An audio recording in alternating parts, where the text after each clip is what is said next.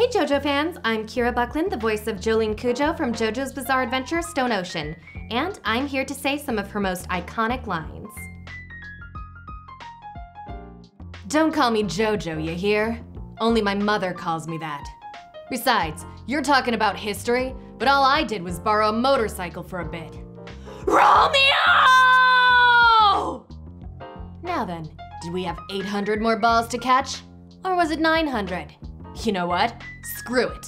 Take a thousand! I'm gonna get my dad's disc out of this prison, and that includes the one Pale Snake's holding onto. Just watch. You could have escaped from my wrath using the wind pressure, if you'd released it when you still had distance between yourself and Stone Ocean. Instead, because of your arrogance, you waited. Now the air is blowing you back to me!